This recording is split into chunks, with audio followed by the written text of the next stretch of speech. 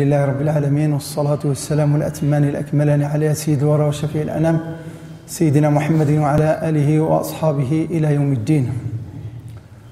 وبعد فمن أبرز مظاهر تخلف المسلمين وذلهم في هذا العصر وفي هذا الزمان هو بعدهم عن الله عز وجل.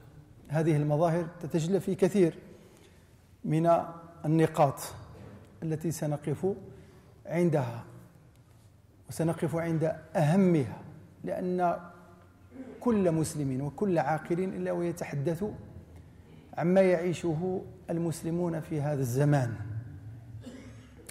من تخلف وتقهقر وذل على جميع المستويات. والمصيبة والمشكل أن كل واحد يلقي اللوم على الآخر. فكل واحد يشخص. كل واحد يعطي الحلول. وكل واحد إلا وينسى نفسه. وأن نفسه وحاله في معزل عما يجري.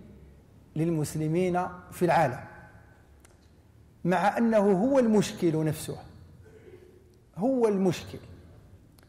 لأن حينما يقول الإنسان غيري وغيرنا ويشخص الأمراض وينسى نفسه فهو المرض نفسه.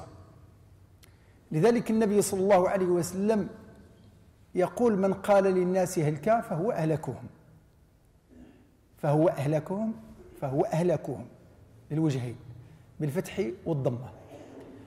فهو أهلكهم لأنه ناسي نفسه وألقى الهلاك على غيره. حينما نقول ضعف المسلمين تخلف المسلمين ذل المسلمين بعد المسلمين عن الله عز وجل اقتتال المسلمين فيما بينهم وأنت وأنت قد تكون السبب الرئيس في هذا المشكل. من بين هذه المظاهر أو من بين أسباب ضعف المسلمين وتخلفهم هو ضياع الدين. حينما أضعنا الدين أضعنا أنفسنا. وحينما أبعدنا الدين من حياتنا أبعدنا أنفسنا من مركز القوة والعزة والشرف. فلا توجد الآن في هذا الزمن دولة تطبق الإسلام ولا تعمل بالإسلام. أي دولة في العالم لا يوجد تطبيق للإسلام في أي مكان. الإسلام ما هو إلا اسم في العالم. الإسلام ما هو إلا اسم. يقرأ القرآن تسمع الأحاديث يؤذن الأذان للصلوات الخمس ولكن تطبيق الإسلام لا يوجد منه ولو واحد في في المئة. فشرع الله عز وجل أهمل. فحينما يهمل شرع الله نهمل نحن. حينما لا يحفظ شرع الله لا نحفظ نحن لأن حفظنا مرتبط بحفظ الله عز وجل. الله عز وجل يقول إنا نحن نزلنا الذكر وإنا له لحافظون. احفظ الله يحفظك. إذا حفظت دين الله وحفظت شرع الله يحفظك الله عز وجل. فلما أهملنا شرع الله عز وجل وضيعنا شرع الله عز وجل ضيعنا الله على جميع المستويات. ضيعنا الله في الاقتصاد ضيعنا الله عز وجل في الوئام في الوحدة في وحدة الصف في كل شيء. فقد ضعنا وتهنا. تهنا في الحياة. فإذا ضياع الشرع. لأن العرب قبل مجيء الإسلام قبل بعثة النبي صلى الله عليه وسلم كانوا يعيشون تمزعا وتفرقا وتشرذوما تعرفون أن العرب انقسموا إلى قبائل. وكل جهة قوية في العالم إلا وكان تتحكم في قبيلة من القبائل. فالروم والفرس إذن العرب كانوا بين الروم وكانوا بين الفرس ويتقاتلون فيما بينهم. لسنين طويلة يتقاتلون. وقد بدأ القتال على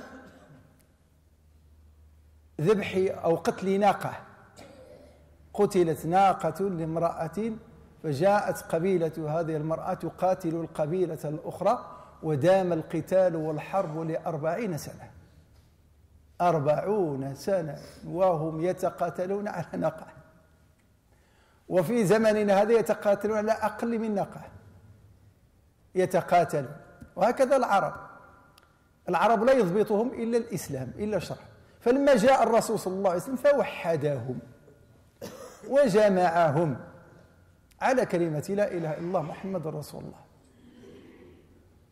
وأراد اليهود أن يعيدوهم إلى ما كانوا عليه من قبل لأنهم لا يرضون أن يروا أمة محمد صلى الله عليه وسلم موحدة فإذا هم يدسون دسائس المكر والخديعة للتفرقة بين المسلمين والنبي صلى الله عليه وسلم معهم. وقد فتحوا باب الفتنة. فإذا الرسول صلى الله عليه وسلم يصله الخبر ويأتي إليهم ويغضب في وجوههم ويقولون أبي دعوة الجاهلية وأنا بين أظهركم. فأنزل الله عز وجل هذه الآية واعتصموا بحبل الله جميعا ولا تفرقوا. واذكروا نعمة الله عليكم إذ كنتم أعداء فألف بين قلوبكم فأصبحتم بنعمته إخوانا وكنتم على شفا حفرة من النار فأنقذكم منها. كذلك يبين الله لكم آياته لعلكم تهتدون. ثم هكذا كانت القرون الخيرة المطبقة للإسلام يعيشون تحت راية واحدة إلى أن ابتعد المسلمون عن شرع الله عز وجل وها هم اليوم؟ يعيشون كما كانوا من قبل. العرب يعيشون كما كانوا من قبل حيثما سمعت عن دم يراق ويسفك إلا وأعلم أنه دم العرب أو دم المسلمين. هكذا حالنا لأنه ابتعدنا عن الله عز وجل. ثم من أسباب تخلف المسلمين حينما يبتعد المسلمون عن الإسلام تظهر البدع تظهر الخرافات تظهر الشركيات تظهر أشكال من أشكال آه، الجاهلية في مجتمعنا. إذن كأنه ترسخت في مجتمعنا بعض العادات والتقاليد الجاهلية. فها البدع ها الشركيات ها الخرافات ها العادات ها التقاليد البائدة. فصرنا لا نتحاكم إلى شرع الله عز وجل ولا نعمل بشرع الله عز وجل وإنما نعمل بما تركه آباؤنا ولو لم يكن ليكونوا على شرع من الله عز وجل. فترون ذلك السحر والخرافات في كل مكان. فالسحر والدجل والكهانة في كل مكان. لا ينكر هذا إلا غافل أو أحمق. هذا في كل مكان. بل مدينة واحدة تجد فيه خمسة وستة وأربعة السحرة الذين يسحرون في كل مكان في البوادي فالأمة ابتعدت عن منهج الله عز وجل. فحينما أرى وأسمع عن دجال أو عن ساحر في مكان من من من الأمكنة يتوافد الناس عليه فأقول والله لو جاء الدجال لتبعه كل الناس. الدجال لو أتى خرج في زماننا هذا ولا يبقى أحد إلا وتبعه وآمن به وآمن به. القرآن يتلى سنة النبي صلى الله عليه وسلم يتلى ومع ذلك فالناس تترك ذلك وتأتي إلى الدجل والسحرة والكهنة. كذلك من أسباب تخلف المسلمين وبعدهم عن الله عز وجل تفشي المعاصي والرذائل في كل مكان. تفشي المعاصي بواحد الشكل كبير. المعاصي الآن كل المعاصي والذنوب التي كانت ترتكب في الأمم السابقة أمة محمد صلى الله عليه وسلم ترتكبها. وأتحدى أحدا أن يأتي أن يقول ما كان في أمة الفلانية السابقة لا يوجد في أمة محمد صلى الله عليه وسلم من المعاصي والذنوب. كل ما يذكر على اللسان إلا هو موجود في أمة محمد صلى الله عليه وسلم. الشرك موجود في أمة محمد صلى الله عليه وسلم. الربا الخمر شرب الخمر الزنا اللواط القبائح كلها. ما تذكر وما لا تذكر هي في أمة محمد صلى الله عليه وسلم. فالظلم الاعتداء شهادة الزور الكذب بل وأقول لكم بعض المعاصي لم تكن متفشية في الأمم السابقة. لم تكن متفشية. العرب مثلا الجاهلية العرب الجاهلية أبو جهلين أبو لهاب أمية بن خلاف. ما كانش عندهم بعض المعاصي التي هي موجودة عند المسلمين الآن. كيف؟ مثلا كان عندهم الكذب من أفعال من الأفعال المستهجنة المستقبحة عند العقالة ما كانوا يكذبون. ما كانوا يكذبون. أبو جهل أمية بن خلاف أبو لهاب ما كان يكذب. عيب عندهم يكذبوا عيب. أبو سفيان حينما وقف بين يدي ملك الروم فيسأله عن النبي صلى الله عليه وسلم قال ما مانعني أن أقول عنه الكذب إلا أني خشيت أن أعير أن يقول أبو سفيان قد كذب. مع أنه وحده مع أبي سفيان. أبي سفيان مع, مع ملك الروم هرقل. يسأله عن النبي صلى الله عليه وسلم باستطاعته أن يكذب عن النبي صلى الله عليه وسلم. ولكن قال تذكرت أن العرب يعيروني يعيبوني يقولوا أبو سفيان كذب. فتسجل علي. إحنا المسلمين يستغفر الله ويصلوا الكذب الكذب الكذب الكذب. رجع الاستغفار عند عندنا بعض المسلمين هو الكذب هو الكذب الظلم ما كان عندهم العرب أبو جهل ما كان عندهم يظلم. مكارم الأخلاق كانت عندهم. العرب ما كان عندهم الزنا. ابدا. المرأة العربية القحة ما كانت تزني. ابدا. ولذلك لما الرسول صلى الله عليه وسلم فبايعته هند فبايع النبي صلى الله عليه وسلم النساء كما يبايع الرجال ولا يزنين. فقالت أو تزنين حرة؟ عجب. حتى مجرد أنه في التخيلات المرأة الحرة أو تزني الحرة فتعجبت من من ذلك. إذا نحن المسلمين اللي كنقولوا لا إله إلا محمد رسول الله كنقولوا المسلمين نقرأوا القرآن ونتبعوا أوامر الله وأمر الرسول صلى الله عليه وسلم فنفعلوا أشياء ما كان يفعلها أهل الجاهلية. نسأل الله السلامة. حتى التبرج. التبرج الآن التبرج نتاع الآن اللي عندنا يفوق التبرج آه، الجاهلي ما كان هذا التبرج موجود عند عند أهل الجاهلية. إحنا عندنا التبرج يفوقه يفوقه إذا الإسلام في جهة ونحن في جهة أخرى. كذلك من أسباب تخلف المسلمين وضعفهم غربة الإسلام وغربة الحق وأهله. بدأ الدين غريبا وسيعود غريبة حتى أنك تقول الشخص قال الرسول صلى الله عليه وسلم يقول لك ما عمر سمعت هذا الشيء؟ هذه بدعة يقول لك ما عمر سمعت هذا هذا الباطل ما عمر سمعت هذا الشيء؟ لا لا كان بانا وكان جدودنا وكان هكذا إن وجدنا آباءنا على أمتي وإنا على آثارهم مهتدون. من أسباب تخلف المسلمين وضعفهم الجهل والأمية وقلة الوعي. ما معنى الجهل؟ حينما يقول الإنسان الجهل هو اللي ما قاريش. لا لا. العرب ما كانوا يقرؤون ولا يكتبون ولكنهم كانوا شعراء نبغاء بلغاء أذكياء علماء. ماشي قضية القراية قضية الفهم قضية الوعي. شحال واحد قارئ هو جاهل لا يفهم شيئا من الدين لا يفهم شيئا مما يحيط به لا يف... لا يعمل لمصيره ولا يهتم بأمر أمته. بل أكثر اللي كيضيعوا الأمة هم اللي قاريين. هذا واقع. لأن القراية فيها وما فيها. ولذلك حينما نتحدث عن العلم ما هو العلم؟ العلم الذي يفيدك الذي يفيد أمتك الذي يقربك إلى الله. أما العلم الذي لا يقربك إلى الله عز وجل فلا خير فيه. العلم الذي لا يدلك على الله بحال المال. المال اللي ما كيدلكش على الله عز وجل لا خير فيه. نعم المال الصالح للرجل الصالح. كذلك العلم الذي لا يقربك ولا يعرفك بالله عز وجل فهو لا خير فيه. فالشيطان من العلماء من العلماء. ولكن أبعده عن الله عز وجل. فهم واحد الفهم معوج. أبعده عن الله عز وجل. فقاس ما قاس القياس الفاحش. قال أنا خير منه خلقتني من نار وخلقته من طين. الهدود ما قريش. ما قراش. ما تخرج لا من الجامعة ولا قرأ على شي واحد. ولكن كان داعية إلى الله عز وجل. قال إني وجدت امرأة تملكهم وأوتيت من كل شيء ولها عرش عظيم. وجدتها وقومها يسجدون للشمس من دون الله وزين لهم الشيطان أعمالهم فصدهم عن السبيل فهم لا يهتدون. ألا يسجدوا لله الذي يخرج الخبأ في السماوات والأرض ويعلم ما يخفون وما يعلن. الله لا إله إلا هو رب العرش العظيم. كلام عظيم. الله عز وجل حكى لنا عن الهدهد. ما عنده شواهد ما قرأ ما لا دبلومات لا كذا. ولكن عنده عبادة الله عنده معرفة الله عز وجل. هذا إحنا بحاجة إلى معرفة الله. نعرف الله. أرى ما كنعرفوش الله أرى أكثر الناس ما كيعرفوش الله. والله أقسم بالله لا يعرفون رب السماوات والأرض. لا يعرفون إلا اسمه. ولئن سألتهم من خلق السماوات والأرض لا يقولون الله. شكون اللي خلق السماء؟ الله. شكون اللي خلق الأرض؟ الله. شكون اللي خلقك أنت؟ الله. إيوا أنت فين؟ علاقتك مع الله كيف هي؟ علاقتك مع الله كيف هي؟ أودي الصلاه ثقيلة عليا. تقرأ القرآن؟ أودي قليل فين كنقرأ القرآن؟ إيوا كيفاش أنت كتعرف الله؟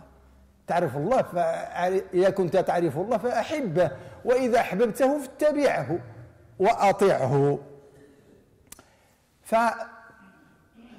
فالعبادات أو معرفة الله هي شعائر وليس عبادات. شعائر.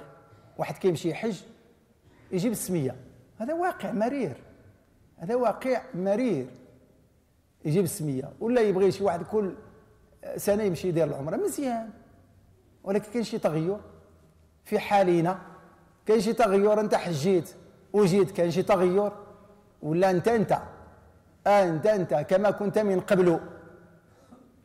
أخلاق رفيعة كثرة العبادات القول الكلام الطيب استغفار ذكر الله حفظ اللسان غض البصر لا تسمع إلا ما يرضي الله عز وجل. من واحد يحج عاد يزيد في التفاليس. هذا واقع. قولوا الصراحة والحق وكلمة الحق ما نشاهده وما نعيشه. نقول الحق لنتقدم إلى الأمام. فكذلك من أسباب ضعف المسلمين وتخلفهم وهو الناس لا تخاف الله. أكثر الناس لا يخافون الله عز وجل. ولذا حتى لا نعمم هناك من يخاف الله ولكن قلة. قليلة. إحنا الآن المسلمون ودائما أكرر ليفهمني الجميع حينما أتحدث فأتحدث عن المسلمين كامل ماشي غير في العير ولا في المغرب ولا العالم مسلمون كامل اللي كنقراو عليهم ونسمعوا لهم. المسلمون حالنا واحد كما هنا وفي هنا في أي مكان. الناس لا تخاف الله عز وجل. أشنو كتخاف؟ كتخاف غير العصا تخاف غير الحبس تخاف غير القانون. والدليل على ذلك المعاملات فيما بيننا. وسلف لشي واحد واش يرد لك الفلوس؟ لابد خص الشاك. والشاك عادي إلا موظف خدام إلا ما خدامش يقول لك نمشي نخدمها بحبس وما نخلصكش. آه يظلم الاعتداء. فهذا واقع مرير إذا الناس ما كتخافش الله. شنو كتخاف؟ كتخاف القانون. كتخاف الحبس. كتخاف الفضيحة. أما الخوف من الله أيها الأحبة أيها الأعزاء أراه قل بل حتى لا نقول انعدم من من من المسلمين. كاين شي واحد اللي يخاف الله عز وجل يحفظ لسانه يحفظ بصره يحفظ سمعه يحفظ فرجه يحفظ بطنه يحفظ يديه يحفظ رجليه. كاين شي واحد اللي يحفظ الجوارح ديالو ويستحي من الله عز وجل ويخاف من الله تبارك وتعالى. فصار الحلال عندنا المسلمين الآن. الحلال شنو هو الحلال؟ الحلال اللي يقدر عليه والحرام شنو هو الحرام؟ اللي ما قدرش عليه. آه اللي ما قدرش عليه. إلى الحاجة اللي لقاها راه حلال عليه والحاجة اللي ما قدر لهاش راه حرام عليه. كما يقولون الثعلب سمع لواحد الدجاجة ونقز طاحت واحد الصور وخذاها ولما خذاها تسلق الجدار وطاحت له. طاحت له ناضوا معاه وكذا قالوا الحمد لله اللي ما كتبليش الله الحرام. هو راه دار المجهود أنه يسرق دجاجة. دار المجهود ولما طاحت له قال الحمد لله اللي ما كتبليش الله الحرام يا ودي الله يهديك. فأنت تتقي الله عز وجل قبل ما التفكر في الحرام فهو حرام أنك ما تفكرش في الحرام لأنك يؤدي بك إلى فعل الحرام. كذلك من أسباب ضعف ضعف المسلمين وضعف العرب عدم قبول الآخر. إحنا كاين الإقصاء. كاين الإقصاء. شنو هو الإقصاء؟ الإسلام جاء ليحرم ولينهى الناس عن التعصب والعصبية. العصبية. كاين بعض البلدان المسلمين راه العصبية القبيلة القبيلة بعض القبائل في الدول العربية. ما زال الجاهليه الأولى. ما زال واحد يتعصب لقبيلته ما زال يتعصب الانسان لآبائه ما زال يتعصب الانسان لجدوده. ما زال الإنسان يتعصب وعنده الأنانية. فالإسلام نهى وحرم العصبية. بل والإنسان يشرك بالله عز وجل. وقد سمعنا هذا. في أي مدينة ولا في أي بلاد كتمشي كيقول لك هذه البلاد كتعطي البرانية. سبحان الله هذا شرك بالله. كيقولوها الناس والله إلا هذه البلاد هذه البلاد كتعطي البراني وياك البلاد هي اللي كتعطي. ماشي الله. الله هو اللي كيعطي واش يعطي الإنسان نحن المسلمين كيمشي الإنسان لأوروبا. يمشي لأمريكا يمشي للصين يمشي لكندا وقد تجد أصحاب أولئك البلد لا يقولون أن هذه البلد تعطي البراني. وحنا المسلم داخل بلده غير داخل المنطقة المنطقة يقول آه ودي البلاد كتعطي البراني. سبحان الله. هذه من جاهلية من الشرك بالله عز هذا شرك. الله عز وجل يقول كل نمد هؤلاء وهؤلاء من عطاء ربك. فعدم قبول الآخر هو سبب تخلف المسلمين. إذا كل هذا لما كتشوف الخريطة الخريطة العرب الخريطة نتاع العرب. شوفها من زاوية أخرى ما تشوفهاش على أنه الخريطة الدول الإسلامية. شوفها أن الخريطة العربية والخريطة الإسلامية مصبوغة كلها بالدم. مصبوغة بالدم. دم المسلمين يسفك في كل مكان. على من يتقاتلون؟ على من يتقاتلون؟ في سوريا من يتقاتلون في العراق. على أتفه الأسباب. على المادة على الكراسي على الخبز. المسلمين ما كانوا يتقاتلوا على الخبز ولا على الكراسي ولا على شيء من من من الفتن ولذلك الإنسان لا يقول نحن في معزل عن الفتن لأن الفتنة اذا بدأت في الأمة فلن تنتهي. وما عمرها توقف. لذا النبي صلى الله عليه وسلم يقول إذا وقع السيف في أمتي لم يرفع عنهم إلى قيام الساعة. إلى قيام الساعة. إن إذا وقع السيف في أمتي لم يرفع عنه إلى قيام الساعة. فتنة الكلمة فتنة أي أي شيء. ولذلك أمرنا أن نعود إلى ديننا إلى أصلنا إلى عزتنا. إلى شرفنا إلى قوتنا إلى إسلامنا إلى قرآننا إلى سنة نبينا المصطفى صلى الله عليه وسلم. فتكون حينئذ الألفة ويكون حينئذ رضا الله عز وجل. فاللهم ارضى عنا واغفر ذنوبنا واستر عيوبنا وآمن روعاتنا وأصلح شأننا كله. ولا تكلنا إلى أنفسنا طرفة عين. ولا أقل من ذلك. الأخ الذي أتى بهذه